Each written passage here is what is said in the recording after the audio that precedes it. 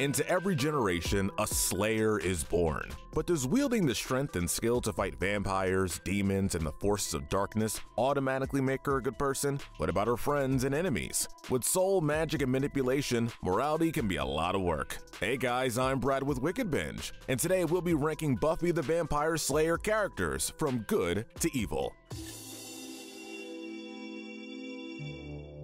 Alright, the rules. For this video, we'll be ranking characters into three categories the good, the gray, and the bad to evil. There will be a lot to take into consideration their good qualities, their bad qualities, and how much they grow and overcome over the course of the show. And notice how we said the show? We will not be looking at any spin offs. Sorry, Angel fans. The season 8 comic or even the movie that spawned the show. We'll just be looking at the series. Obviously, we won't be hitting all the characters from the 7 season run, but we've done our best to get a variety of the most featured as well as the most iconic characters. And obviously, there's a huge spoiler warning, so consider this your last chance to catch up. Alright, let's get ready to slay this list. First, we have the good. These are the characters who are pure, who put in the most effort to become pure, or have proven their dedication to world saving most often. Taking the gold medal of good is Tara McClay. While there were characters with a bigger role and more screen time, we don't think there were any with Tara's capacity for good. Though her family believed that she was part demon, she went off on her own anyway and learned how to use Wiccan magic for good. She fell in love with Willow and was a steady source of good in Willow's life. She's the most concerned and the most helpful when she notices that Willow is starting to abuse magic and does her best to help her lover become more grounded and focused on the good. Though her run in the series was tragically short, she had a strong impact and was an undeniable light in a dark time. Taking the silver medal of good is our titular Buffy Summers. Buffy is a perfect depiction of what it means for a human being with flaws, desires, and struggles to consistently be good. She makes difficult decisions and constant sacrifices to put her family, friends, and the fate of the world above her own wants. This doesn't mean that she never slips up because she does. It doesn't mean that she doesn't have a selfish nature because sometimes she does. She's human. She's all of us. I mean, look at season 1. She wants to have time with her friends, try out cheerleading, run for homecoming queen, and have the experiences of a normal teenage girl. She can't let go of the life she could have had before she became chosen, and it's obvious how much that hurts her. Even in the season 1 finale, we see that she's willing to give it all up, including her life to save the world. The struggles become more and more serious. She eventually has to deal with the very human struggles of providing for her family and working at a soul-sucking job to keep the house running and try to pay the bills. We see her suffer the mental effects of years of fighting evil. She has to give up college and a good career, and basically everything to continue saving the world. Often, she's not appreciated for all these sacrifices. She slips up, she snaps, sometimes she makes really poor impulsive decisions and expects too much of those around her. These are all forgivable traits of someone from whom the world has taken too much. The fact that she still tries to continue saving the world shows the real strength of her character. With all she goes through, it's amazing she wants to attempt to be good, let alone succeed over and over when it comes to the consistent trials she must endure. And the exact opposite of that, the bronze medal of good goes to Spike, aka William the Bloody.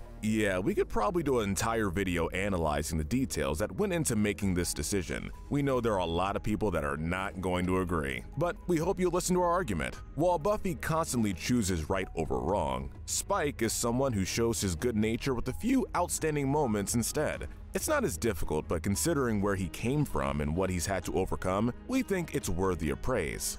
Spike was a good person when he was human. We think that's a good baseline for what his real personality was. He was sweet and well-meaning, and he struggled. He was the underdog. Then he was turned into a vampire, his soul was lost. In the Buffy lore, all vampires are soulless, cruel demons who want nothing more than to play games with people, cause suffering, and drink blood. This is a side of Spike that we definitely see. In fact, that's how he's introduced. Unlike Angel, however, Spike's redemption arc is not initiated because his soul is returned. Spike, as a demon, learns how to be a better person for his unrequited love of Buffy. That's unprecedented in the show's lore. It also means, unfortunately, that he slips up.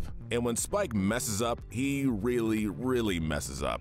There's actually an episode where he attempts to assault Buffy, something for which he feels terribly, and actually starts his redemption arc. We're not saying that's okay, we're not saying we condone it, we're not even saying that we forgive him, but that is what vampires in this world are like, and we have to give Spike credit for fighting his nature. We also have to give him credit, of course, for sacrificing himself to save the world in the finale. While impulsive, one-time, large sacrifices are not the steady signs of a good person, it was enough in combination with his previous efforts to make him worthy of the slot. Next is Kendra. Kendra can be abrasive. She trained as a slayer in a much more official and dedicated capacity than Buffy did, and it leads them to butting heads when she's first introduced. That being said, she has studied the responsibility and approaches it with a level of dedication that is truly admirable for a girl her age. Though this puts her in sharp contrast with Buffy during her second season arc on the show, these are a lot of the qualities that Buffy herself ends up having by the end of the series that makes her so strong. So maybe Kendra had a larger impact in those few episodes than we would have known.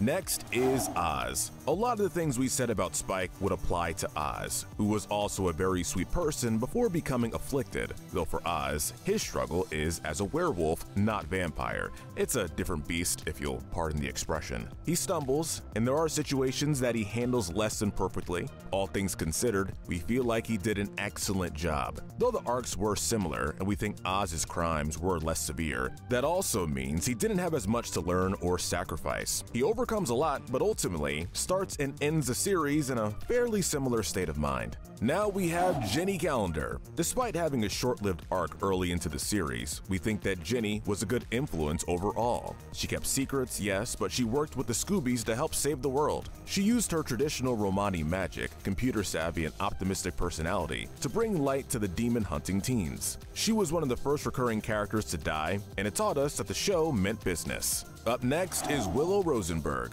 We know, we know you've all been waiting for Willow. There are ups and downs to having so much screen time, and one of the downsides is the extra time to do bad things. In the early seasons, Willow is sweet, sheltered, girl who can do virtually nothing wrong.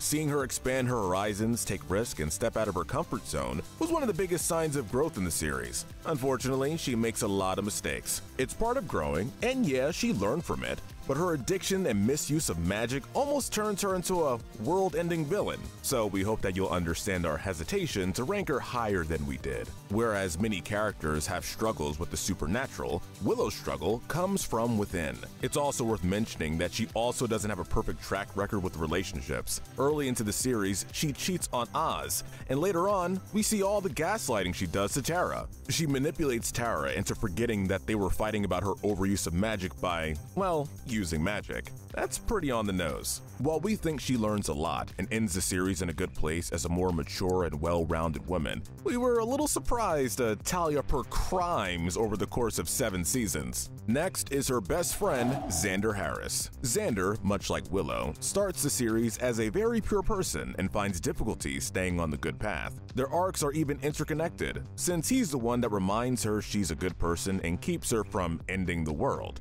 There are two things that we think place him a little lower than her. One is his attitude. Many of Xander's struggles also come from within, but instead of fighting addiction to power, Xander struggles on and off with his insecurities. He's not the chosen one, he has trouble keeping up on the constant research, and he doesn't have any kind of magical powers that help him with the fighting. Personally, we feel that makes his contributions and undying dedication to the gang more impressive. By the end, once he's stopped letting his college insecurity drag him down and has found the good job that lets him provide reinforcements to the Summers home, we see him as an absolute hero. What doesn't help is that he's constantly putting himself in danger and letting that emotional baggage drop on the others at the worst time. He's not entirely clean when it comes to partners either. He was also in a relationship when he and Willow got together, not to mention leaving Anya at the altar. While we may understand why he did it, we're not sure we can ever entirely forgive him. Seriously, that episode was rough. Rounding out the tier is Cordelia Chase. Cordelia has plenty of skeletons in her closet during her three-season run on Buffy.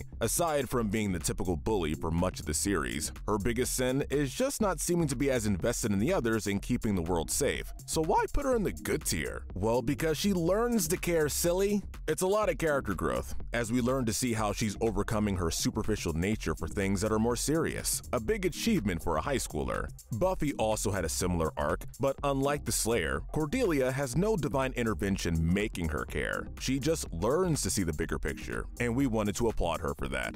Now we move into the Grey. These are some of the deepest, most complex characters in the series. While we may understand the effects of their deeds, we may never entirely know what compels them to act as they do, for the greater good or otherwise. Kicking off the tier is Rupert Giles. There is a lot to unpack about Giles as a character. At different points, he's the embodiment of rules and tradition, and at another point, we're supposed to see him as a rebel and the dawn of a new age in Slayer training. He's got warlock training, he's a rocker. While we admire many of his decisions, like that of backing Buffy against the Council of Watchers, we have to wonder about his involvement as a Watcher in the first place. Though we're sure it came from a good place, we watch him constantly ask more and more of Buffy.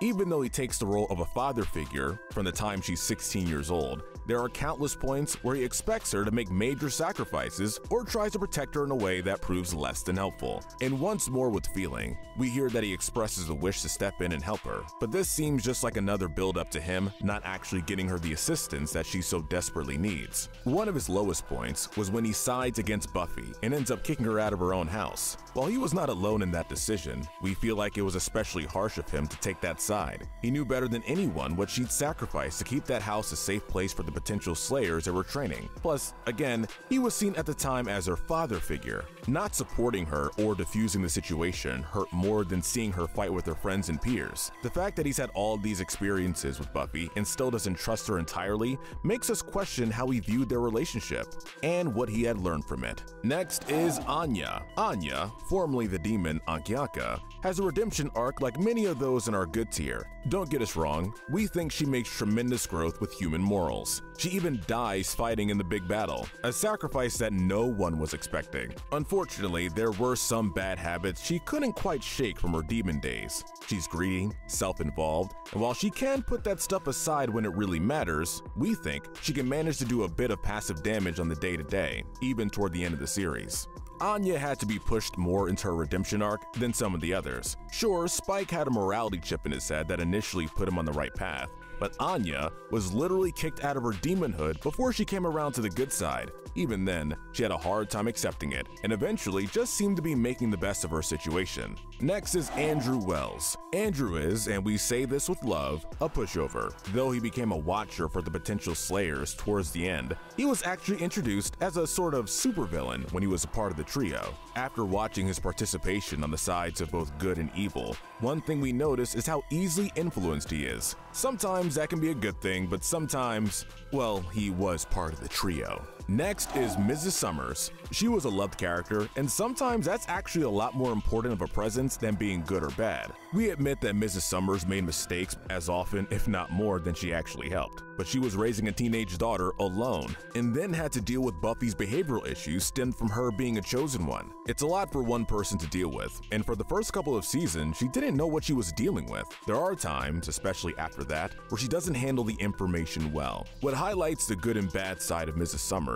was when Buffy ran away from home. Joyce tells her not to bother coming back if she leaves, but she doesn't give up looking for her and makes sure she knows she has a safe place to return to. The deeds may weigh her down, but her good intentions are worth mentioning. Next is Buffy's sister, Dawn Summers. It was a shock when Dawn came onto the show. It was always a shock when, seemingly, overnight, the only child has a teenage sister. Dawn may be a personified embodiment of energy that was supposed to be the key to another dimension, but she somehow still takes after her mother. We believe that she means well. We're tempted to give her a pass because of her age, but the truth is that Dawn is immature. Growing up with a sister who is a slayer can't be easy, but Dawn struggles to grow up at all. She's constantly throwing tantrums, getting in the way, and often making more work for the people who are trying to save the world. She has some moments of depth, and every now and then she supports Buffy the way that families should support each other in tough times. Unfortunately, those moments are few and far between, especially in the first season that we see her.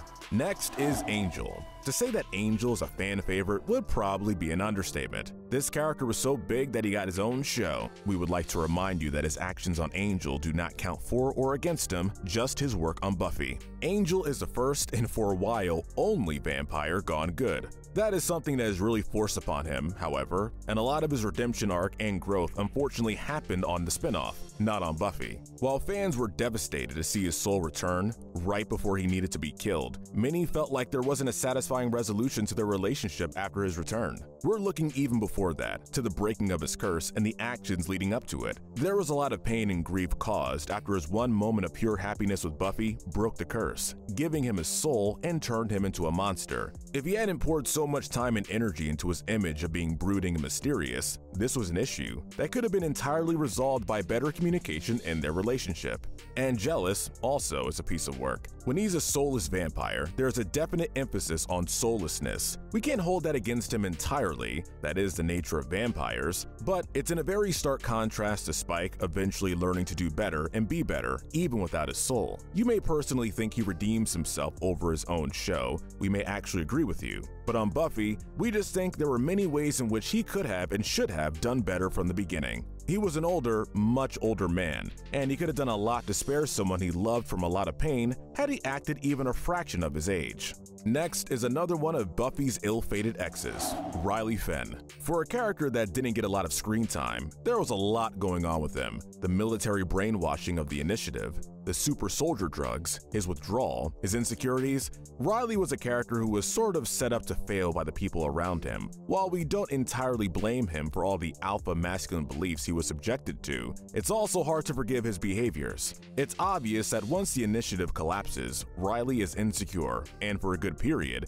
he takes that out on Buffy. Then he blames her for not being trusting and honest with him when he needs it, even though he very likely contributed to her trust issues in that relationship. One of the times we see his personality without a ton of external influence is when he shows up nearly a year after leaving to ask for Buffy's help. He shows up married to a woman more in his league, and they need Buffy to step in with one of their demon hunting projects. Riley expects Buffy to be okay with this and gives her very little heads up about his wife Samantha, whom he also expects her to be okay working with. This feels like a double standard when we see how poorly he reacts to finding out that Buffy is in a relationship with Spike. Rounding out the tier is Faith Lehane. Faith is a great character. Despite seldom being the focus, she's someone that you empathize with, even when she's infuriating. She's been in the good and bad tiers at different points in her life, and honestly, a case could have been made for putting her just about anywhere. Her poor upbringing garners sympathy for even her early faux pas before we really know her, when she's still being a bad influence. She has an actual villain arc in the third season when she decides to team up with the big baddie. There are many instances when it seems to be Buffy versus Faith. This puts more strain during the final season. When Buffy's eventually booted out of leading the potential Slayers, Faith steps up and does what must be done. While this seems like Faith benefiting from Buffy's failure, even once she's joined the good side, we can see how uncomfortable she is stepping in, presumably for that very reason. At this point in her life, she's trying to do better, and sometimes the right thing doesn't always feel as good as she would like. For that reason, and her helping save the world, we have put her in the gray tier, but all the same, she was an impressive villain. Finally, we have the bad to evil. These are the most influential villains. Though we had to exclude some of our favorites due to limited screen time, we feel confident that you'll be shaken by the morals of the following entries. Kicking things off is Warren Mears. We can't really say that Warren Mears ever meant well, but mostly he was harmless. Mostly. He had supervillain intentions when he started the trio, but the group was up to more hijinks than actual villainy. It says a lot that the one death he's guilty of was the murder of the wrong person. He was responsible for shooting Tara in an ill-fated attempt to finally take out Buffy. And as we all know, he suffered for that mistake. While he was a bad guy, his ineptitude really saved him from being lower on the tier. Next is Principal Snyder. Principal Snyder was, eventually, proven wrong in the end, and in such a spectacular fashion. Learning a lesson, however, is not the same as being redeemed. Snyder lets the power of being the high school principal go to his little head so quickly,